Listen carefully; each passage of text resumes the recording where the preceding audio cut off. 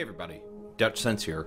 7:46 p.m. Central Time on Friday, November 1st, 2013. And I'm going to make this quick and to the point, guys. It happened again. Another large earthquake happened beneath a current cyclone tropical storm system passing over Asia.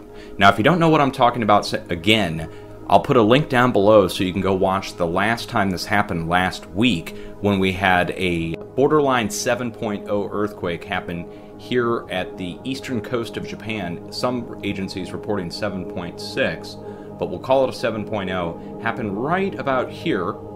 At the same time that happened, we had Typhoon Francisco and Typhoon Lekima over the exact same area at the exact same time.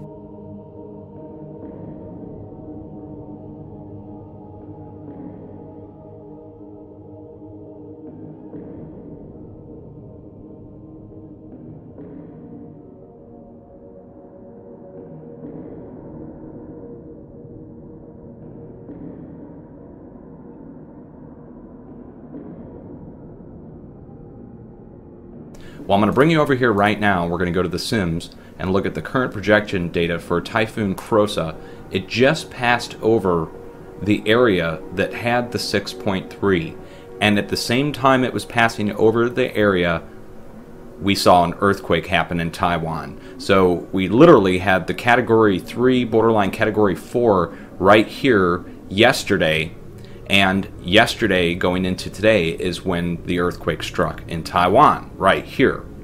And to prove that to you, let me just go ahead and take you back over. We're going to go to the Mimic Morphed Microwave Background Imagery.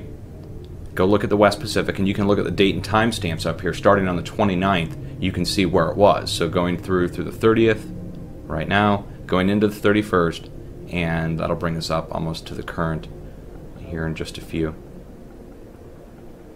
okay, and it's currently residing off the western coast of the northern Philippines, just south of Taiwan. So when the earthquake happened, it was right there. Same kind of distance, too, that we saw before with, with the two previous tropical cyclones and the earthquake that happened off the shores of Japan.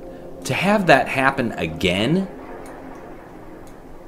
in the same two week time period that's just crazy. This is just wild, guys. So I just wanted to show that to you, show you that it happened again, and that, of course, no one's reporting on it, no one's paying attention, whatever. Um, this is the only video I think that's going to be out there on the topic right now until other people start to look into this. You don't have to take my word for it. Let's get the date and timestamp on the earthquake itself. And we're going to go by UTC time, which is the 31st at 12. So we'll come back over here, look at the 31st. There. Same spot, literally within a few hundred miles, just like last time. Watch it again. Go to the 31st at 12 right there. Pay attention to these things, guys. Start making videos on it. I don't want to be the only one doing videos and making posts on this stuff now. I mean, come on. What are there, 7 billion people on the planet? Really?